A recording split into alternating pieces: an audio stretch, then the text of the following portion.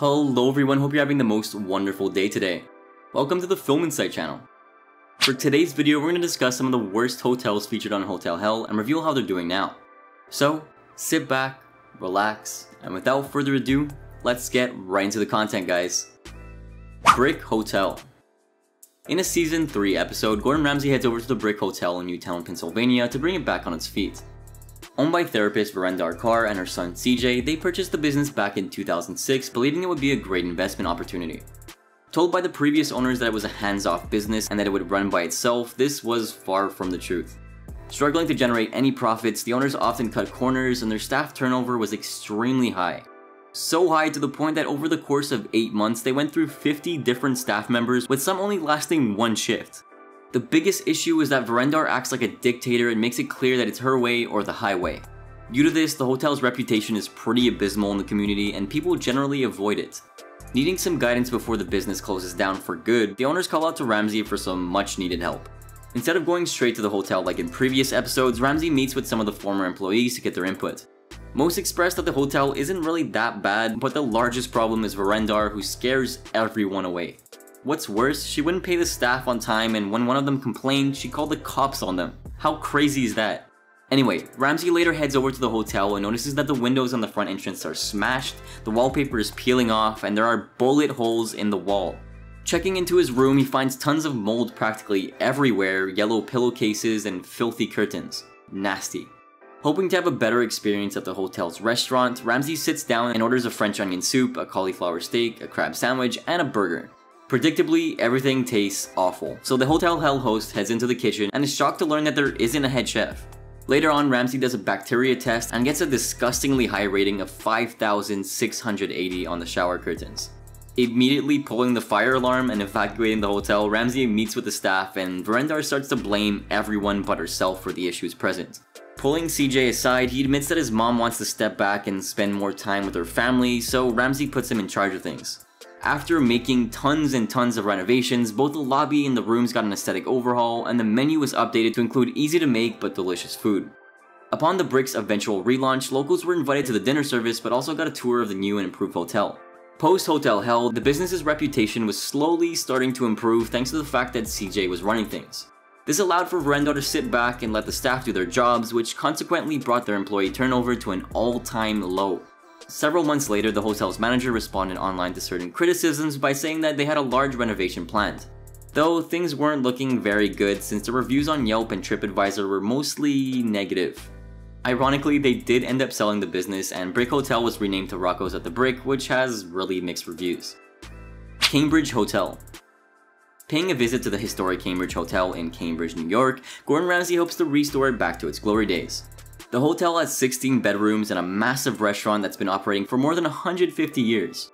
Owned by ex-serviceman and local lawyer John Imhoff and his wife Tina, he bought the hotel in 2007 with the help of his family. Most of the staff complain about the fact that John is a humongous control freak and is very hands-on.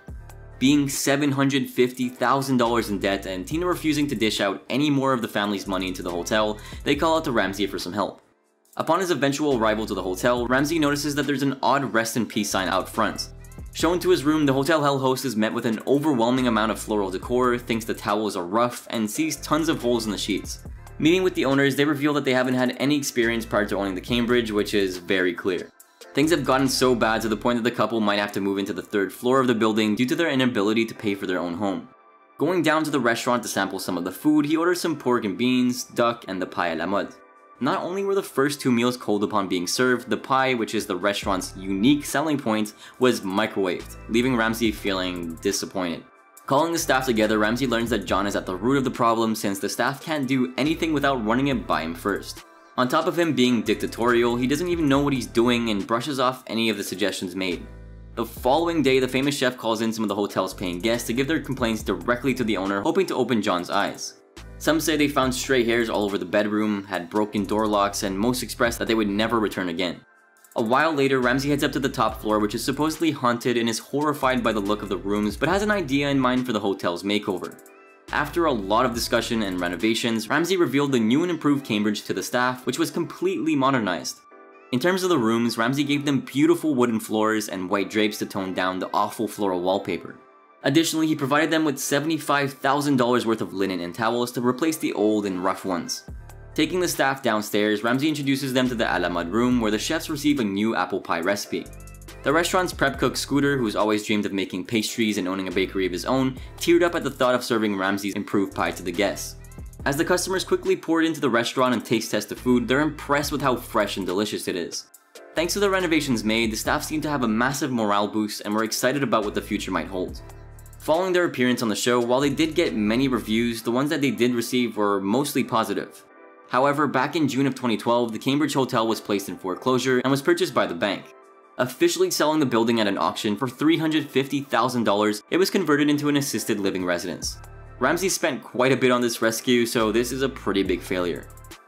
4 Seasons Inn For our final entry, we're going to discuss a hotel Gordon Ramsay visited called Four Seasons Inn. Owned by a former construction worker named Sandy McDougall, the inn has 14 rooms and a dog kennel. Having spent over $1 million since opening the place, McDougall's incapable of paying staff due to the lack of funds. Rather than pay them with real money, the owner lets them stay for free at the inn, but this leaves less room for paying customers. Really needing some help, McDougall calls out to Ramsay who arrives expecting the luxury 5-star chain Four Seasons hotel, but is greeted with something quite different. Upon entering the inn, he notices that the reception is empty and sees an untidy dog bed lying around.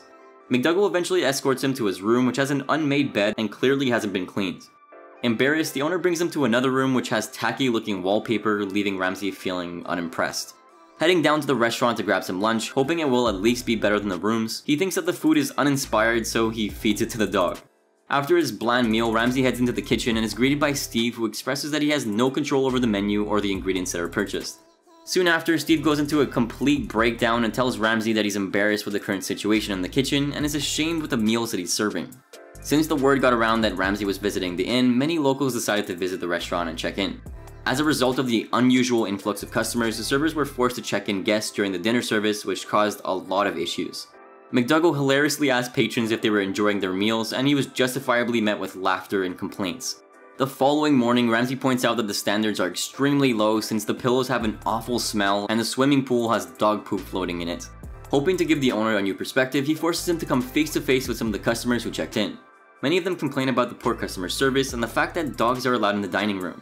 To really hammer things home, Ramsay brings out the black light in front of all of the guests and shows that the pillows, sheets, mattress, and rug are covered in fluids. Thankfully, McDougall finally began to understand how much he's been neglecting the inn and vowed to change.